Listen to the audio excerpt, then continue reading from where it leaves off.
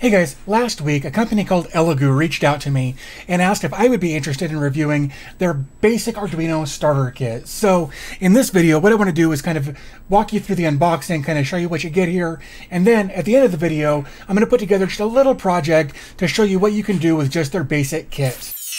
So you guys know that running a YouTube channel like this takes money and time. Now you can't help me with time, but if you'd like to help me with money, there are a few different ways you can do that, whether it's through Patreon, PayPal, Ko-fi, or any of the other uh, services that may be out there. I've got a link down in the description below where you can find one of those ways that's most convenient for you to contribute to the channel. Okay, so here is the box that you get. It's a, it's a fairly plain box, um, good with branding and whatnot, but not not too much going on on the outside here, but if we open it up, let's see if we can get this open without tearing it too badly. There we go. On the inside here, you're going to see uh, basically kind of a list of everything that you're going to get in this kit. And you, so you're going to get some red, yellow, um, uh, what else? Blue, green, uh, LED lights, some white ones as well. Um, five of those as well. You're going to get some RGB. Looks like one RGB uh, light. This is actually what we're going to use in our little project at the end. Um, there's going to be a bunch of um, uh, resistors. Looks like 120 of those. You're going to get a photo resistor, some buttons, um, a, a, buzzer, an active buzzer there.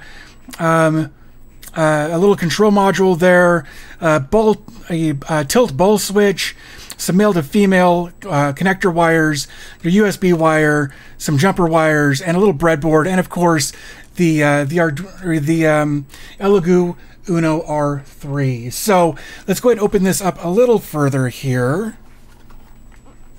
Little thank you card, kind of give you a little bit more information about them. So that's cool um, our Arduino. Of course, I've already opened that and taken a look at it, but there's that. There is our data cable. Um, here are those 120 resistors.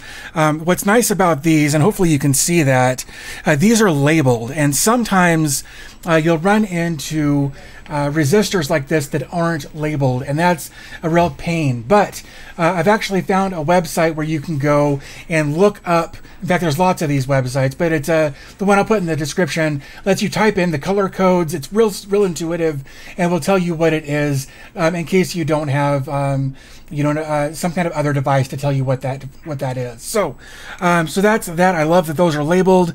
Uh, of course, we've got our buzzer, uh, our all of the other buttons and switches and things that they mentioned. Um, we've got our, our breadboard wires here. We've got some different lengths of these wires, so that's cool.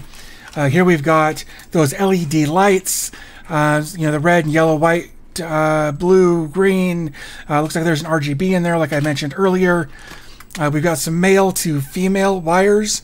And of course, our little breadboard here. So uh, let's go ahead Oops. Oh, there is also, I didn't see that before, a little CD in there so that you can uh, get an idea of coding and things like that. I don't know what's on here. I actually don't have an optical drive um, in any of my devices anymore. So I'm um, not sure what's really on there. Um, so there you go. So with all of that being said, I think it's pretty safe at this point to go ahead and put together just a little project to kind of show you uh, some of the things you can do. And of course, the project we're going to make here um, not terribly uh, practical. Uh, at least I can't think of a practical reason. Maybe you can. Uh, but what we'll do is we'll uh, we'll set up a little uh, our little breadboard here and uh, we'll hook some wires and a button and an RGB light up to it, and we'll toggle the colors of that light with the button. So let's go ahead and open this up. So there is our breadboard. And if you're not familiar with these, um, basically, um, like basically, let's see, row 30, um, went like, so you got, you've got your different rows from one to 30 here. Oops. Let's, let's do it this way. So you've got your rows one and then all the way down to 30 down here. And then um, A through E, these are all on one rail. And then F, F through J, those are on a separate rail. And so you've got all of these um, that connect all the way across here. Um, there's a break in the middle. And then on either side, um, you've got a positive and a negative so that you can send power and ground uh, whatever it is you're doing through your Arduino itself. Um, so that's that's what's going on here. So uh, let's go ahead oops, set this here. And I've, I've already got some wires cut. Uh, I've already gone through this project once. I wanted to make sure that everything was going to work before I went through this whole thing. So I'm going to go ahead and pull uh, some of the stuff off of uh, my other project here. So first things first, we need a button. That's going to be important um, to be able to toggle through uh, the different colors of our bulb. So next, we're going to need our bulb. So we're going to put our bulb in here. Now, the thing to notice or to note about these bulbs is, um, so basically this is going to be um, from, from uh, this side over here. So left to right is going to be red, and then your ground, and then green, and then blue. Uh, so we want to make sure that we keep that in mind uh, when we're putting this in the breadboard. So I apologize for being out of focus, um, but let's go ahead and just stick that right in here. Oops, just need to go back one. Okay, so next thing we're to need, um, in addition to obviously the, the, the button and the, uh, the little bulb here, we're to need some resistors. There's to be three 220 resistors and one 10K resistor. And we're going to put those three uh, 220s over here on the bulb. So I'm going to go ahead and put one on the red. And then we're going to skip the ground. We don't need to we don't need a resistor on the ground. So then we'll skip that one. We'll go to the green and we'll plug in. Hopefully that's right. Hopefully it's gone in there enough. And then we're going to do one more on the blue here. All right, and it doesn't really matter here that the uh, the red one is a little further out than the other two were, but for the sake of keeping things clean, we'll go ahead and fix that. Like so. So we've got we've got our red, green, and blue, all with a 220 on it, uh, just to make sure we don't send too much power to any of those. Okay, so I had a bit of a camera glitch with the overhead here. So um, I didn't realize it till after I'd already got some other stuff done. So uh, if we take a look here, um, I added, we already had the button. Uh, we already had our light. We had our three uh, resistors in here. These are 220s. I've grounded the negative pin on this RGB light.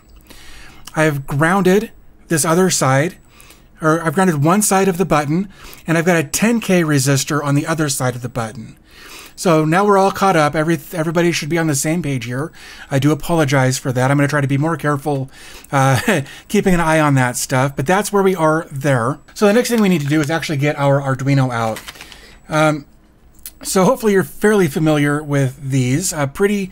Uh, these are pretty standard across the board, no matter who they're made by, which I really appreciate. I love that these are open sourced, um, and uh, basically anybody can make one. So, uh, so what we're going to do now is we're going to actually turn this around to go this way.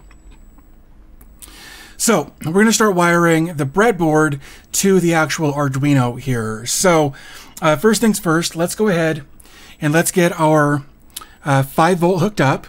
Now you're going to see on this side over here, we've got um, all of. They're all labeled here on the side as well as on the top of the board here. So, uh, so that way you can definitely make sure you get the right plug here. We want to go on the 5 volt here. And we just want to plug that into the positive rail on our breadboard. So we're going to go ahead and do that. And then we're also going to do the same thing uh, with the ground. So we'll just come over here. We'll uh, plug this one in to the ground rail. And then there's actually two. Oops, let's do it that way. There we go. There's actually two uh, ground pins on um, the Arduino. So you can pick and choose either of those that you'd like to use. So pretty, pretty straightforward standard stuff there. Um, next thing is we want to hook up our button. And I, now in our code that I've already written, this will all be shared on uh, my blog post as well. Um, but I've got the, the button set to go to pin 3. So we're going to go ahead and go right in between the button and the resistor and plug this in right here and then we'll come over to pin 3. Now, if you're looking at this from the top saying, well, that looks like pin 4, that's because your pins start at 0. So pin 4 is actually pin 3. So just something to keep in mind there. And then we're going to have red, green, and blue um, that we need to attach to the board as well. Um, so we're going to go, our red pin is going to go right here. Actually, we can bring it up. no, let's go, let's go all the way out, like so. And I've got red on 9. Oops, that's 8. There's 9. Then I've got green on 10. So remember, we went red, then negative, then, then green. So we're going to go ahead and plug this in on pin 10, like so. And then we're going to do blue, and we're going to do that on pin 11. Same thing, we're going to plug in here. And then we'll plug in to pin 11 on our board. And that's it. That's all there is to the actual wiring portion of this um, of this little project. Now the next thing we've got to do is actually plug in our data cable here. Uh, it's this guy right here. We're going to plug one end into uh, the, the board. We're going to plug the other end to our USB device. Uh, I'm actually going to plug it into my keyboard because that's what I've got that is nearby. Um, and then I'll show you how to uh, get your board set up and actually push the code. Or we'll look, take a look at the code very briefly, and I'll show you how to push the code to your uh, Arduino.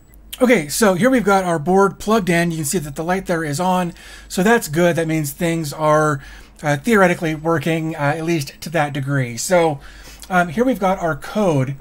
And so basically the first thing we have to do is we have to uh, define um, all of our different pins uh, for the for the button, the red pin, green pin, blue pin, and the counter. The counter is actually going to be uh, what we use to tell the light and the board what to do. And every time we press the button, that counter is going to increase by one. And that's kind of what we're looking at in this little section down here. Um, above that, below the, or in the void setup, we're defining things as either inputs or outputs. And then below that, um, it's saying, hey, grab the button state, uh, whatever that happens to be. Um, and then it's going to be a, a, button pin. It's going to be a digital read. So um, below that it says if the button equals low, and that means if the if you've pressed the button down uh, into the low position, I think that's the easiest way to remember it. Um, then increase the counter by one and wait uh, 250 milliseconds, or about a quarter of a second. if the counter value is zero, then all of these, the red, green, and blue, will all be low or off in this case. If the counter is 1, um, then turn on or set the red pin to high, but leave the other two low. If the counter is 2, um, then we're going to turn off, we're going to set the, the red pin to low, then we're going to turn the green pin to high or on, and then the blue pin will stay low. Uh, same thing, taking it a step further on pin 3, or on counter, or once the counter hits 3, then turn off, make sure the red and the green pin are off, but the blue pin is on. And if the counter is at 4, uh, then we're going to turn on the red and the blue pin so that we get a purple. So, um, otherwise, set everything to 0. Those are your, your five options, either off, um, red, green, blue, or purple. So, at that point, what we want to do I want to bring that over. I may have to fix that in, in post. Um, we want to go over here to options. We want to make sure that we've selected um, our board as being Arduino um, Uno. That's good. And then we want to make sure that our core or that our port here is uh, set to COM6. I believe COM6 is the standard communication port for an Arduino Uno. Um, so that's what I've got selected here. Um, so then what I can go ahead and do here is I can click verify to make sure that uh, all of the code looks good. Um, if if it if there's a problem with the code, um, you know, like if I had if I had removed um, that uh, that bracket and then clicked verify, um, then it's gonna it's gonna throw up an error down here, um, and it'll actually take me right to where it's supposed to be. So we'll go ahead and put that back in. We'll click verify again. Everything's good. So then I'll go ahead and click um, the arrow, which is to upload. And when I do that, you, you can see all of these lights flicker for a second. And then if I press, we get red. If I press, we get green. If I press, we get blue. If I press, we get purple. And if I press, we get off. Okay guys, so there you go. There's a quick little project um, that I used only parts from um, the, the Arduino Uno basic starter kit that Elegoo was awesome enough to send over for me to take a look at. So uh, if you want to pick up one of these kits, uh, I will have uh, links to, um, to this kit. I've actually got a bigger kit um, that I bought a while back. Um, it's their Superior starter kit, uh, this big one right here. I've also got a resistor kit um, that I bought that's got 1,500 pieces or something in it. Um, and oh, also um, this solid core wire. Um, I know that these often or almost always come with these little pre pre built or pre determined sizes of wires, but I like to be I like my wires to be clean, be certain lengths, that sort of thing. So that's why as I was building this, you saw that all of my um, all of my my cables were already cut to length I had already done that, and that's why I like um, having this, the spool of different sizes or different colored wires, so I can cut them to whatever size I need. So I will have links to absolutely everything um, in the description down below, so you can go ahead and pick one of these up. Um, also, again, go check out Elegoo. They're a great company. Um, I actually bought the their their big kit uh, their Superior Starter Kit um, a few months ago and kind of played around with it a little bit. And then they reached out to me here recently via email and asked if I wanted to take a look at their starter kit. Uh, it's cheap. It's like less than 20 bucks on Amazon right now. Um, so again, I'll have links to all of this stuff in the description down below. So uh, I think I'm going to go ahead and wrap things up here. Uh, so as always, thanks for your time. I always appreciate your support and I'll talk to you in the next video.